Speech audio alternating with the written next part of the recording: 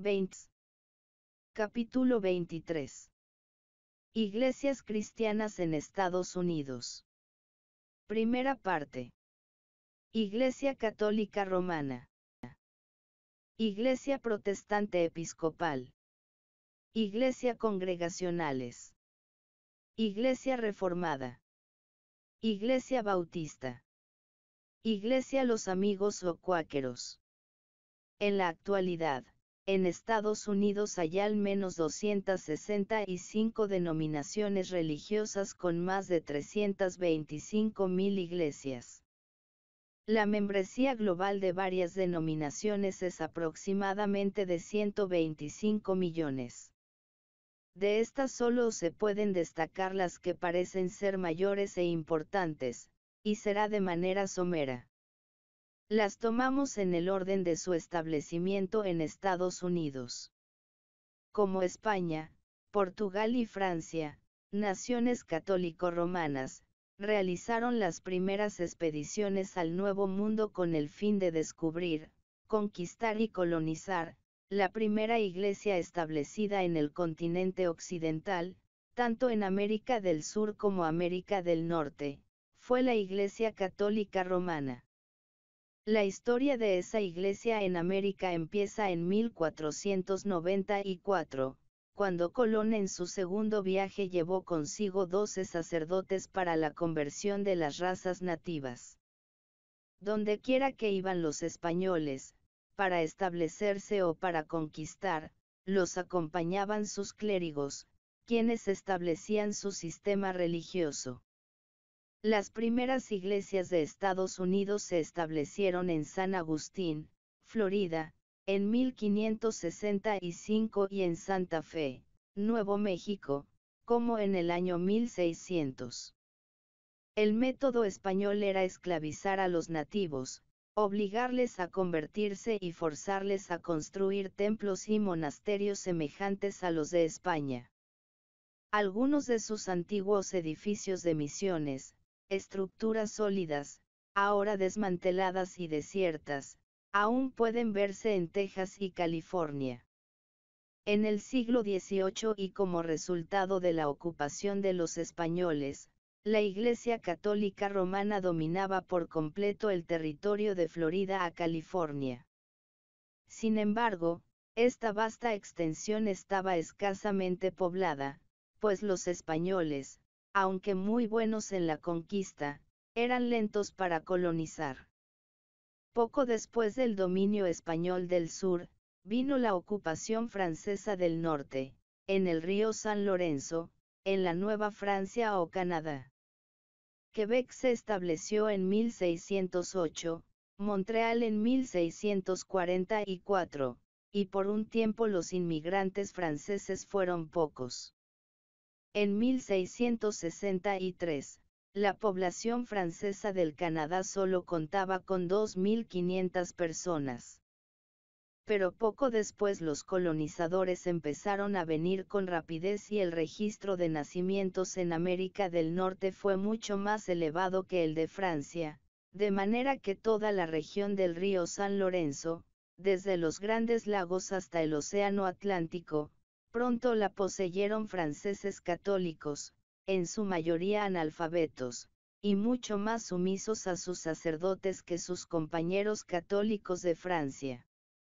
En Canadá se hizo un gran esfuerzo por convertir a los indios a la fe católica, y el mundo no tiene anales más heroicos y abnegados que los de los jesuitas en las colonias francesas. Sus métodos estaban en marcado contraste con los de Hispanoamérica ganaban la amistad de los indios por su amabilidad y su obra abnegada. A mediados del siglo XVIII, todo el territorio del Gran Noroeste más allá de los montes Alleghanies, estaba bajo la influencia francesa, España gobernaba el sudoeste, y sobre ambas posesiones la Iglesia Católica Romana era suprema, mientras que solo una estrecha franja de la costa del Atlántico era protestante bajo las colonias inglesas. Todo pronóstico para el futuro señalaría a los católicos como destinados a gobernar todo el continente. Sin embargo, la conquista británica del Canadá en 1759, y más tarde la adquisición de Luisiana y Texas a Estados Unidos, alteró el equilibrio de poder en Norteamérica, del catolicismo al protestantismo. Las colonias inglesas en la costa del Atlántico eran protestantes, excepto los colonizadores en Maryland, en 1634, que eran católicos ingleses, cuyo culto estaba prohibido en su propio país.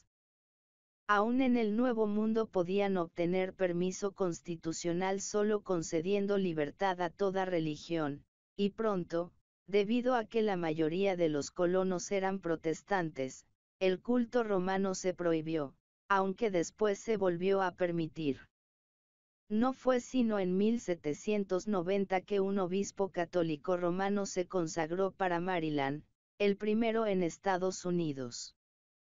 Para ese tiempo la población católica en este país se calculaba en 50.000 personas. Alrededor de 1845, Estados Unidos comenzó a recibir una gran corriente de inmigrantes de Europa. Al principio era en su mayoría católica procedente sobre todo de condados muy católicos en Irlanda. Más tarde, a estos se les agregaron otros millones del sur de Alemania y aún más tarde muchos de Italia.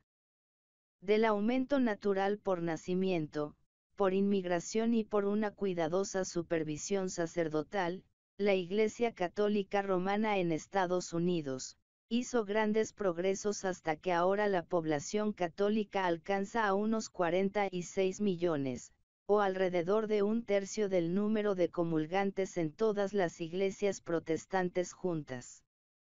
Como parte de la Iglesia Romana Mundial, los católicos estadounidenses están bajo el gobierno papal.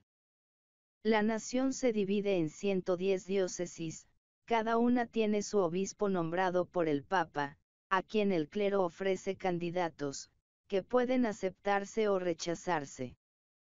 Las diócesis están unidas en 24 archidiócesis, cada una bajo un arzobispo, y sobre todas estas presiden seis cardenales, también nombrados por Roma. La Iglesia Protestante Episcopal. La Iglesia de Inglaterra fue la primera religión protestante establecida en Estados Unidos. En 1579, Sir Francis Drake, ofició un servicio religioso en California, y en 1587 varios clérigos acompañaron la desafortunada expedición de Sir Walter Raleigh. La entrada permanente de la iglesia inglesa fue en 1607, con la primera colonia inglesa en Jamestown, Virginia. La Iglesia de Inglaterra fue la única forma de adoración reconocida en el período primitivo en Virginia y otras colonias del sur. Cuando en 1664 Nueva York, colonizada por los holandeses, pasó a ser territorio inglés, se estableció la Iglesia de Inglaterra y pronto llegó a ser iglesia oficial de la colonia, aunque no se prohibían otras formas protestantes. En 1697 se constituyó la parroquia de la Trinidad en Nueva York y en 1695 la Iglesia de Cristo en Filadelfia. En su ordenación, a cada clérigo de esta iglesia se le exigía un juramento de lealtad a la corona británica y como resultado natural casi todos eran leales, llamados Tories, en la Guerra de Independencia. Muchos de los clérigos episcopales evacuaron el país y al final de la guerra era difícil suplir las parroquias vacantes, porque el requisito de lealtad a Gran Bretaña ya no podía efectuarse, y por la misma razón no podían consagrarse obispos. En 1784, el reverendo Samuel Siberry, de Connecticut, recibió consagración de obispos escoceses, que no requerían el juramento de lealtad, y en 1787 el arzobispo de Canterbury, consagró a los doctores Guillermo White y Samuel Provost, dando de esta manera a la Iglesia norteamericana la sucesión inglesa. La Iglesia en Estados Unidos adoptó el nombre oficial de Iglesia Protestante Episcopal. Desde entonces el crecimiento de la Iglesia Episcopal ha sido rápido y constante. Cuenta ahora con una membresía de casi 3 millones y medio. Reconoce tres órdenes en el ministerio, obispos, sacerdotes y diáconos, y acepta la mayoría de los 39 artículos de la Iglesia de Inglaterra, modificados para adaptarlos a la forma de gobierno americano. Su autoridad legislativa se confiere a una convención general que se reúne cada tres años. Se trata de dos cuerpos, una Cámara de Obispos y una Cámara de Delegados clérigos y laicos electos por convenciones en varias diócesis. Iglesias congregacionales. Después de Virginia con la Iglesia de Inglaterra, la siguiente región colonizada fue Nueva Inglaterra, empezando con los peregrinos que en diciembre de 1620 desembarcaron del buque Mayflower, en Plymouth, en la bahía de Massachusetts. Estos eran independientes o congregacionalistas, el elemento más radical en el movimiento puritano inglés, exiliados de Inglaterra a Holanda por razón de sus ideas, y ahora buscaban un hogar en las tierras despobladas del Nuevo Mundo. Antes de desembarcar en Plymouth se organizaron como una verdadera democracia, con un gobernador y consejo electo por voto popular, aunque bajo bandera inglesa. Al principio no se separaron de la Iglesia de Inglaterra, sino que se consideraron como reformadores dentro del seno de la misma. De acuerdo con sus convicciones cada iglesia local era absolutamente independiente de la autoridad exterior, formando su propia plataforma, llamando y ordenando a sus ministros y dirigiendo sus propios asuntos. Cualquier concilio o asociación de iglesias solo tenía una influencia moral sobre sus diversas sociedades, no una autoridad eclesiástica. Eran en efecto una teocracia y como tal todas las familias en la colonia pagaban contribuciones para el sostén de la iglesia, pero solo los miembros de la iglesia podían votar en las elecciones del municipio y la colonia. Poco a poco se abolieron las restricciones, pero no fue hasta 1818 en Connecticut, y en 1833 en Massachusetts, que la Iglesia y el Estado se separaron absolutamente, y el sostenimiento de la Iglesia fue del todo voluntario. Las persecuciones de los puritanos por los gobernantes de la Iglesia de Inglaterra condujeron a multitudes a buscar refugio y libertad en Nueva Inglaterra, y las colonias en esa región se desarrollaron con más rapidez que en ninguna otra parte en el siglo XVII. Se establecieron dos universidades, la de Harvard en Cambridge y la de Yale en New Haven, ambas destinadas a ser más tarde grandes universidades. La educación general en Nueva Inglaterra estaba más avanzada que en las otras colonias como los presbiterianos y congregacionalistas surgieron también de la Iglesia de Inglaterra y ambos se desarrollaron calvinistas en sus credos, aceptando la confesión de Westminster, las relaciones de estos dos cuerpos eran amigables. Por mucho tiempo hubo un entendimiento tácito, formalizado en un pacto mutuo en 1801 en que las iglesias presbiterianas no deberían extenderse a Nueva Inglaterra, ni las iglesias congregacionales fuera de Nueva Inglaterra. Este pacto, sin embargo, lo abrogó una convención congregacionalista en 1852, y desde entonces el sistema congregacionalista ha hecho un rápido progreso por todo Estados Unidos, aunque menos en el sur que en ninguna otra parte. En 1931 la Iglesia Congregacional y la Iglesia Cristiana, Convención General, se fundieron para formar las iglesias cristianas congregacionales con alrededor de 2 millones de miembros. Iglesias reformadas. Nueva York fue el primer lugar que ocuparon los holandeses como un centro comercial en 1614. Al principio la colonia se llamó los Nuevos Países Bajos y la ciudad Nueva Ámsterdam. En 1628 se organizó la primera iglesia bajo el nombre de Iglesia Protestante Reformada Holandesa, y durante la supremacía holandesa fue la iglesia oficial de la colonia. Las iglesias de este orden se establecieron en el norte de Nueva Jersey y en ambos lados del río Hudson hasta Albany. Por más de 100 años los cultos se realizaron en el idioma holandés. En 1664, Gran Bretaña ocupó la colonia, le puso por nombre Nueva York y la Iglesia de Inglaterra se convirtió en la religión del Estado. Sin embargo, los ciudadanos de descendencia holandesa siguieron firmes en su propia iglesia, y sus grandes propiedades aumentaron en valor con el desarrollo de la ciudad.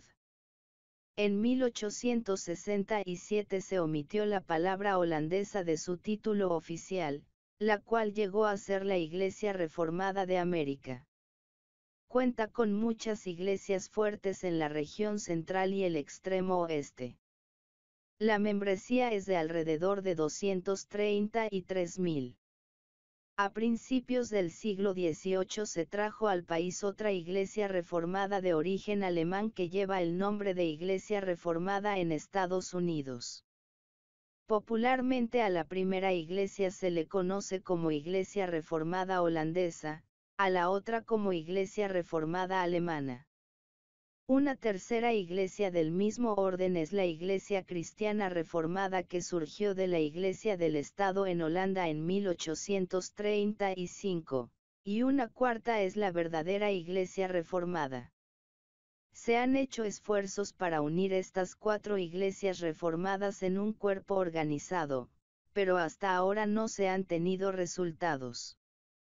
Todas estas iglesias reformadas se adhieren al sistema de doctrina calvinista, enseñan el catecismo Heidelberg y se organizan bajo el mismo plan, parecido al presbiteriano, pero con diferentes nombres de sus cuerpos eclesiásticos. La junta gobernante en la iglesia local es el consistorio. Los consistorios vecinos forman un consejo, los consejos de un distrito están unidos en un sínodo particular, y estos en un sínodo general. Iglesias Bautistas. Una de las mayores y más ampliamente esparcidas de las iglesias cristianas en Norteamérica es el Grupo Bautista, que asciende en sus diez mayores denominaciones a mucho más de 20 millones de miembros. Sus principios distintivos son dos. 1 el bautismo debe impartirse solo a quienes profesan su fe en Cristo, y por consiguiente, no deben bautizarse niños. 2. La única forma bíblica de bautismo es por inmersión del cuerpo en agua, no por aspersión ni rociamiento. Son congregacionales en su sistema, cada iglesia local es absolutamente independiente de toda jurisdicción externa, fija sus propias normas para los miembros y establece sus propias reglas. No tienen una confesión de fe general ni ningún catecismo para instruir a los jóvenes en sus principios. Y sin embargo, no hay otra iglesia en el país más unida en espíritu, más activa y emprendedora en sus labores y más leal en sus principios que las iglesias bautistas. Los bautistas surgieron poco después del comienzo de la Reforma en Suiza en 1623 y se esparcieron rápidamente en el norte de Alemania y Holanda. Al principio se les llamó anabaptistas porque volvían a bautizar a los que ya se habían bautizado en la infancia. En sus inicios en Inglaterra estaban unidos con los independientes o congregacionales, y poco a poco llegaron a ser cuerpos separados. Es más, la iglesia en Bedford, de la cual Juan Bunyan fue pastor alrededor de 1660 y que aún existe, se sigue considerando bautista y congregacional. En Norteamérica, comenzaron con Roger Williams, un clérigo de la Iglesia de Inglaterra, quien fue a Nueva Inglaterra y lo expulsaron de Massachusetts porque se negó a aceptar reglas y opiniones congregacionales. En 1644, obtuvo la jurisdicción de la colonia de Rhode Island. Allí se permitían todas las formas de adoración religiosa y se acogían a los partidarios de muchos credos, que perseguían en otras partes. De Rhode Island los bautistas se esparcieron extensa y rápidamente por todas partes en el continente. Sus iglesias locales están organizadas en asociaciones y estas en convenciones de Estado y nacionales, pero son solo consejeras y no mandatarias. De las 28 denominaciones bautistas en Estados Unidos, las tres mayores son las bautistas regulares, norte y sur, y las de bautistas negros. La división entre bautistas del norte y del sur se debió a revolución por el problema de la esclavitud, reconocida en el sur, pero opuestos en el norte. Aunque aún separados, ambas asociaciones mantienen relaciones fraternales.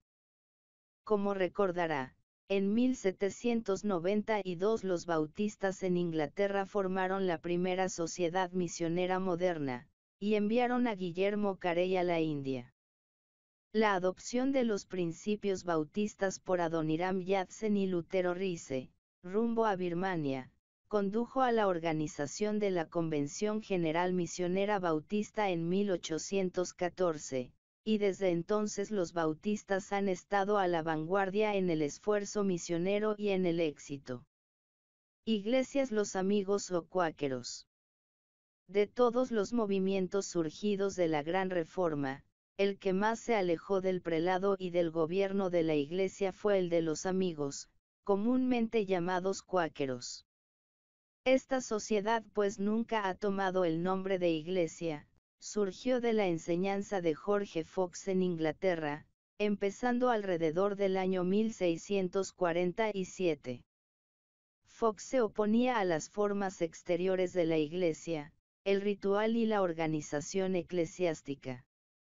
Enseñaba que el bautismo y la comunión debían ser espirituales y no formales, que el cuerpo de creyentes no debía tener sacerdote ni ministro con salario, sino que cualquier adorador debía hablar según la inspiración del Espíritu de Dios, quien es la luz interior y guía de todos los verdaderos creyentes, y que en los dones del Espíritu y gobierno de la sociedad, los hombres y las mujeres debían tener los mismos privilegios. Sus seguidores al principio se autodenominaron hijos de la luz, pero más tarde la sociedad de los amigos. No se sabe con seguridad cómo se les aplicó el nombre de cuáqueros, pero se generalizó y no desagrada a los miembros de la sociedad.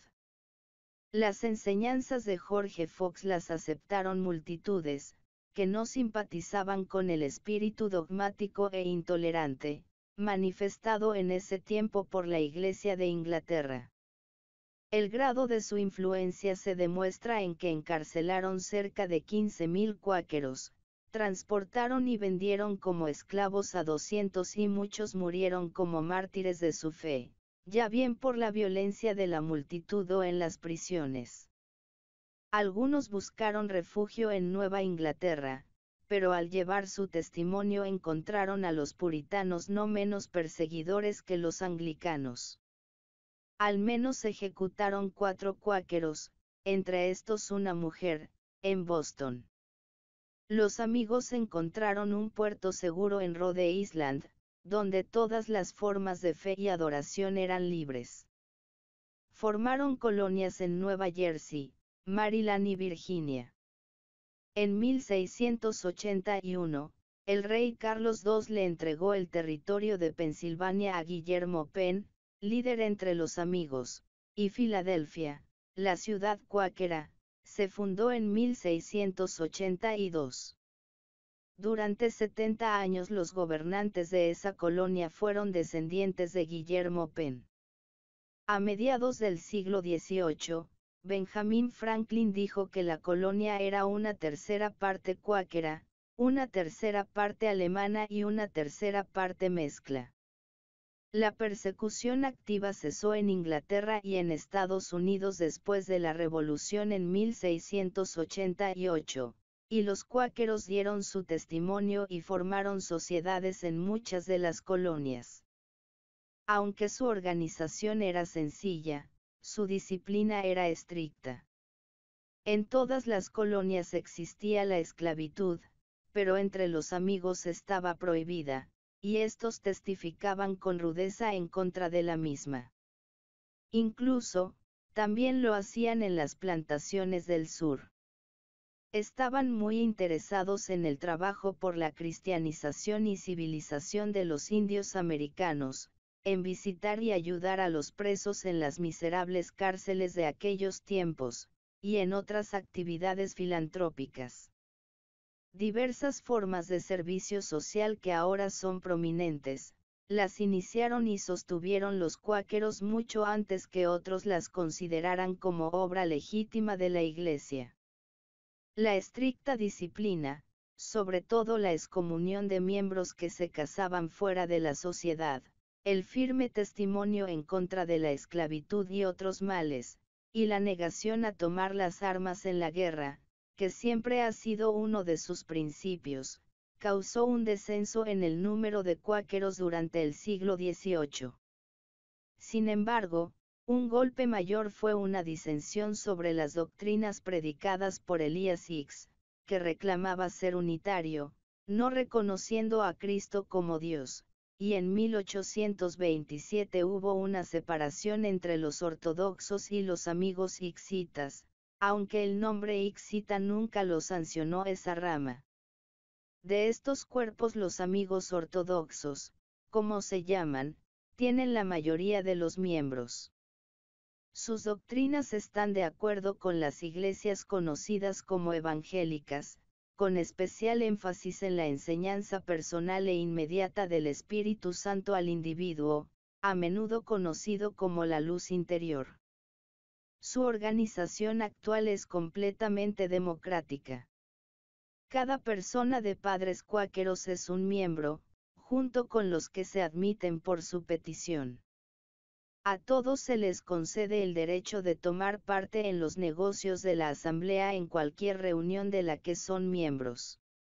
La sociedad está organizada en una serie de juntas mensuales, para los negocios ejecutivos sujetos a revisión por las juntas trimestrales y anuales, las últimas corresponden a las conferencias o sínodos en las iglesias. En Estados Unidos y Canadá hay 14 juntas anuales que abarcan casi todas las partes del país, pero las más pujantes están en la región central del oeste. Los Ixitas tienen siete reuniones anuales, abarcando los estados del norte y extendiéndose hacia el oeste hasta Illinois. Otras sociedades menores se conocen como Glburitas y la rama primitiva.